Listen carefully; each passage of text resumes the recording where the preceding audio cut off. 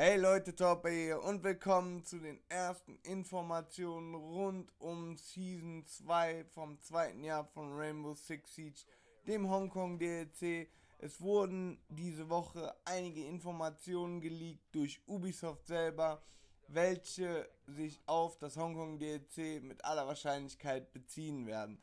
Wie kam es dazu kurz vorweg? Ubisoft hat von Mittwoch bis Freitag ihre Testserver wieder freigegeben, um diverse Sachen auf diesen Testservern zu testen, wie zum Beispiel das ein Schritt Matchmaking, sodass ihr nicht mehr euer Team und dann ein gegnerisches Team findet, sondern in einem Schritt zehn Leute findet und dann direkt in ein Match reinkommt. Aber dabei hat Ubisoft einige Sachen im Spiel gelassen, die mit sehr hoher Wahrscheinlichkeit zum Hongkong DLC gehören werden. Und welche diese sind, werde ich euch jetzt im folgenden Video zeigen.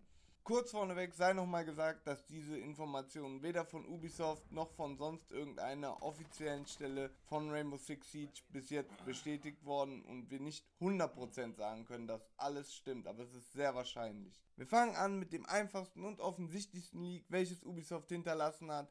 Wenn ihr unter eure Spielersuche-Einstellungen auf den Testserver gegangen seid und eure Maps ausgewählt habt, die ihr gerne spielen wolltet oder nicht, dann gab es ganz unten eine brandneue Map Unterküste und diese nannte sich Themenpark, zu Deutsch Freizeitpark.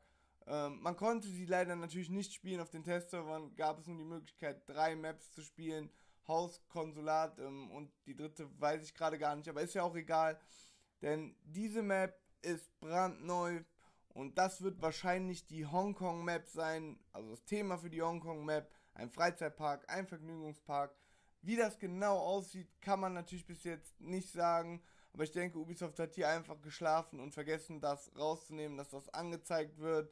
Und ja, was haltet ihr davon? Ein Freizeit-, ein Vergnügungspark? Ich denke mal eher, dass wir irgendwie ein Gebäude in einem Freizeitpark haben anstatt dass wir quasi in einem Freizeitpark rumrennen, weil das würde, glaube ich, sehr wenig Sinn machen. Aber ich bin echt mal gespannt und jetzt schon echt gehypt auf eine Map, weil so ein Freizeitpark, Vergnügungspark, finde ich schon ein cooles Thema für eine Map in Rainbow Six Siege. Aber mit diesem einfachen Leak nicht genug, denn nachdem bekannt wurde, dass Daten aus der zweiten Season in den Spieldateien sind, haben einige aus der Community sich diese Spieldateien mal ein bisschen genauer angeguckt und was die gefunden haben, deutet doch schon recht auf die beiden neuen Operatoren und sogar auf Waffen der Operatoren hin. Ihr seht hier gerade einen Screenshot aus den Spieldateien zu den beiden neuen Charakteren Kaltrop und Dazzler. Woher sehe ich das? CHR steht für Character. SDU, das zweite steht für Special Duties Unit, das ist die Spezialeinheit Hongkongs. Kaltrop, der Operator-Name und dann seht ihr natürlich Eyes, Mouth, Hands, also Hände, Augen, Mund, all die Dateien, um diesen Charakter zusammenzusetzen. Wofür steht jetzt Kaltrop und Desla? Kaltrop steht für Krähenfuß und Desla steht für Blender. Und das weist natürlich wie immer auf die Gadgets der Operator hin. Und hierzu habe ich natürlich auch wieder einen Screenshot und da sehen wir, dass Tesla irgendeine Art von Granate hat. Tesla, wie gesagt, steht für Blender. Ich glaube allerdings nicht, dass es einfach nur Blendgranaten sind, sondern dass diese Granate irgendwas anderes Spezielles noch kann. Bei Kaltrop, dem Krähenfuß, sehen wir, dass er irgendeine Art von Mine hat. Ähm, hier wurden auch sogar Dateien gefunden, wo ich aber keinen Screenshot von habe, dass es sich angeblich um eine toxische Mine handelt, also ähnlich wie die Smoke-Granaten.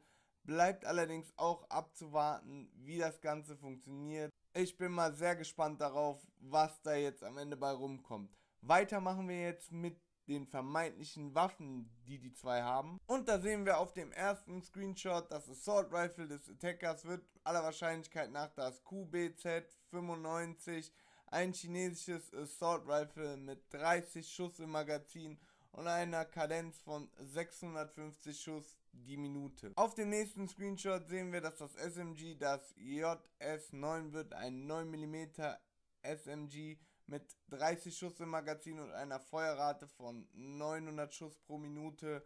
Bei beiden Waffen handelt es sich um chinesische Waffen. Zum Schluss nochmal ein Screenshot von einer Fanidee zu einem Operator namens Kaltrop und hier wollte das Community-Mitglied, dass Kaltrop metallscharfe Krähenfüße auf dem Boden platzieren kann. Ich habe mal ein bisschen gegoogelt und dazu dieses Bild gefunden. Also ähnlich wie Stacheldraht. Nicht ganz wie Stacheldraht, aber dass er davon drei Stück hat, also dreimal eine Größe von Stacheldraht auf den Boden legen kann. Und dass wenn die Gegner da durchlaufen, dass sie schreien und auch ein bisschen Schaden nehmen. Vor allen Dingen war seine Idee, dass ein Attack Operator das hat, um das Roam ein bisschen einzudämmen und diese Dinger irgendwo hinzulegen, wo die Verteidiger roamen. Das ist natürlich jetzt weit hergeholt, das kann natürlich gar nichts damit zu tun haben. Vielleicht hat Ubisoft sich auch ein bisschen an der Idee orientiert und ein bisschen dran rumgefeilt. Man weiß es nicht genau. Wie gesagt, ich wollte euch das einfach nur wissen lassen. Ansonsten lasst ihr mich wissen, was haltet ihr davon? Was denkt ihr? Glaubt ihr, wir kriegen wirklich eine Freizeitpark-Map? Ich bin ja mal sehr gespannt, wie die aussehen wird. Und ansonsten, was haltet ihr von den Operatoren? Was haltet ihr von den Waffen? Und vor allen Dingen, was denkt ihr, wie wird das Gadget im Endeffekt aussehen von beiden Operatoren? Ich freue mich auf eure Meinung. Ich hoffe, ihr seid genauso hyped wie ich auf das Hongkong DLC. Wenn ihr nichts dazu verpassen wollt und ihr noch nicht habt, abonniert meinen Kanal. Wenn ich euch hiermit ein paar neue Informationen zum Hongkong DLC verschafft habe, haut auf den Like-Button.